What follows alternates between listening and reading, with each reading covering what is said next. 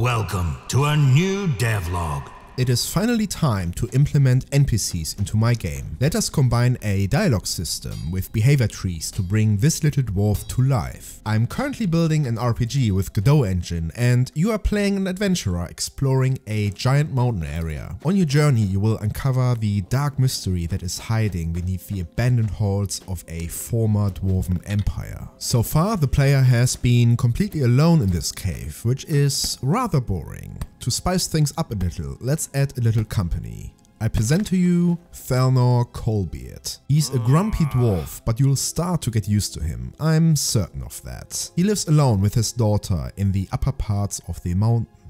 This dwarf will be the first NPC the player will encounter in this game and by talking to him we will discover more about what happened to this desolated place. Before I did any coding whatsoever, I wanted to ensure that I exactly know what the life of Thalnor Coalbeard looks like. He's a blacksmith who used to work for the Dwarven Empire but now moved himself into isolation. His daily routine involves forging tools and occasionally heading out into the mines to gather coal and ore or to hunt for food. This means that any system I already implemented into the game should be usable by the NPCs as well. Unfortunately, this is not how I initially coded it. When I first built the forging and mining mechanic, I wrongly assumed that the player is the only entity that will perform these actions. Epic fail. I spent many days and nights refactoring all my components to not be player specific any longer. Instead, both Thalnor and the player are now of type world character that can interact with any system in the world. Remember that player sprite sheet in Aseprite I have shown before. That is exactly where we will add a new layer and animate the sprites of Thalnor for various animations. While pixeling the character, I also had to ensure that they align with the tool animations and dimensions correctly. Another problem with the existing sprite sheet is that it is way too small in size. Yes, the sprites are usually 16 by 16, but also I want to animate mining and forging with more Anticipation. Which requires more space outside the usual 16x16 square. I created a new world character, assigned the newly created sprite sheet for Thalnor and dropped him into the world. The cave so far is not a great place to live in. I mean, where should our little dwarf even sleep? So I pixeled a couple of buildings and placed them into the starting area so he has a place to call home. While creating these fresh assets, I decided to make the cave a little bit more visually appealing by introducing deep chasms and minecart tracks. Those don't do anything right now, but in future they will be interactable and impact gameplay. That's for another devlog though.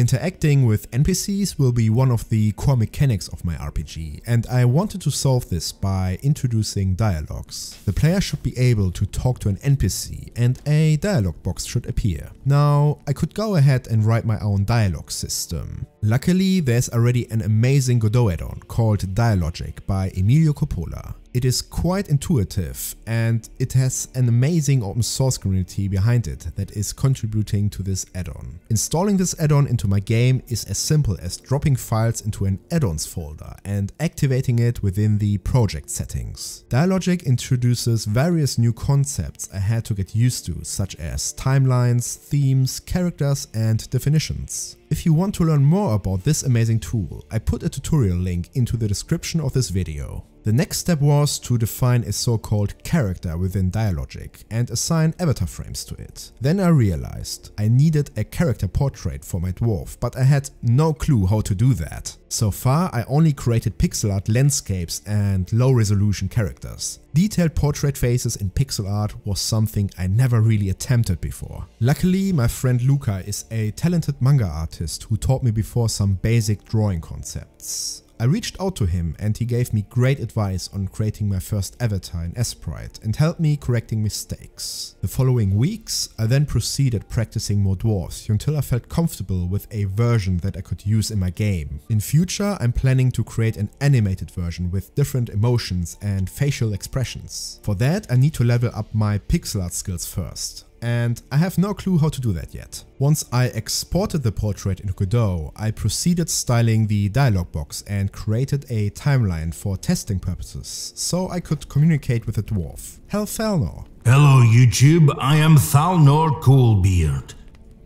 Dialogues on their own are interesting, but for my RPG I want to make them more interactive. For example, certain dialogues should only be triggered when the player carries a certain item. This becomes especially important once I implement quests. As a result, I had to somehow tell Dialogic about which item belongs to what character in the world. Sadly, I could not find a generic approach to this problem, so I had to create a variable for every single item for both the player and Thalnor. Each character then connects to the signals of their inventories and tells Dialogic about these items. This allows me then to define conditions on dialogues to check for various items held by the player or the dwarf. For example, we can now trigger a dialogue in case the dwarf loses his pickaxe for some reason.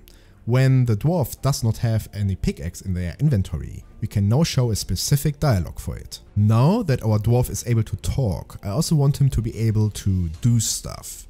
He is a blacksmith after all and bringing him to life is something I was looking forward to for quite some time already. This meant that I had to come up with some sort of AI logic. A naive approach would have been to extend the world character script and within the process function I could add some if statements and then change the behavior of the dwarf depending on various conditions. While this is definitely a simple approach, this is not useful for my purposes, since I have to reuse a lot of the behavior logic across different NPCs. Some of that logic might even happen in a different order altogether, and certain conditions might require slight variations too. This is where so-called behavior trees come into play. Don't be mistaken, behavior trees should only be used when you are planning to have a modular system that you want to modify quickly and that should change dynamically. Also keep in mind that behavior trees are extremely difficult to debug in case something goes wrong. Personally, I'd advise against using them unless there is no better way to build your AI logic. For my purposes though, it was exactly what I needed. When I first attempted this, I had no clue what behavior trees actually do, so I watched this amazing Godot tutorial by Vinicius Gerevini to learn more. He also provided an example project that contains a behavior tree add-on. All we now had to do was to create a new node of type behavior tree and add nodes to it. Sounds simple, right? Well, I scratched my head for quite some time because I did not really know where to start. Eventually, I reverted back to the good old method of pen and paper and I defined high-level steps of actions the NPC needs to do. The dwarf should work, then rest once he gets tired and occasionally talk to the player when being approached and pausing whatever he's currently doing. Each of these steps can then get broken down into smaller conditions and actions. Most of that week I then spent writing these condition and action notes. Now it was finally time to test the logic. I was quite excited to see the dwarf working hard to achieve his dreams. no, no, no, no.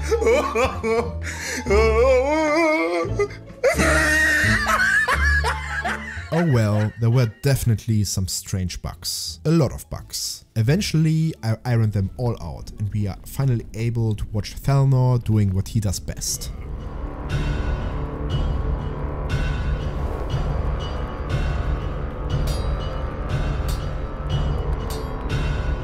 Behind the scenes, I introduced an energy system for each character in the game. As shown by this debug UI, Thalnor will get exhausted during work and eventually he will move to a designated resting spot to recover his energy. In future, the dwarf will head into the house, cook something there and go to sleep. For that, I first need to build the scene transition system, which currently does not really exist. Stay tuned for that. Another feature I want to implement are emotions and mood. As mentioned earlier, Thalnor can lose his pickaxe. For example, the player could just grab the pickaxe while Thalnor tries to pick it up.